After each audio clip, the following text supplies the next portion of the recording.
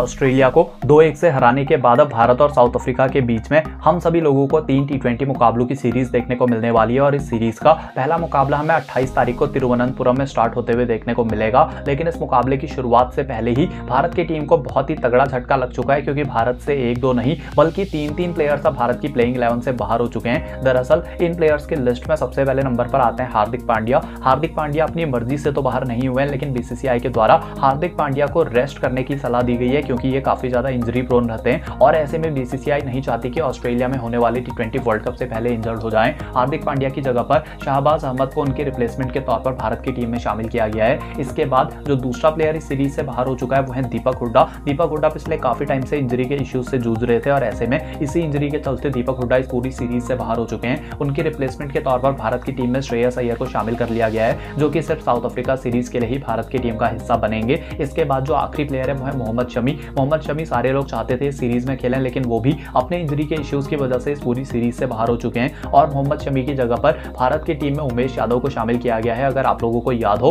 तो उमेश यादव हमने जो ऑस्ट्रेलिया और भारत की सीरीज़ देखी थी, वहाँ पर भी रिप्लेसमेंट के तौर पर बुलाए गए थे। तो ये भारत की टीम के साथ अब ट्रेवल कर चुके हैं और इस सीरीज़ में आपको खेलते हुए नज़र आएँगे। कमेंट करके आप लोग बताइए साउथ अफ्रीका के खिलाफ होने वाली सीरीज़ में आप लोगों के हिसाब से क्या प्लेइंग इलेवन होनी चाहिए। इसके साथ ही वीडियो को लाइक करके हमारे चैनल को ज़रूर कीजिए सब्सक्राइब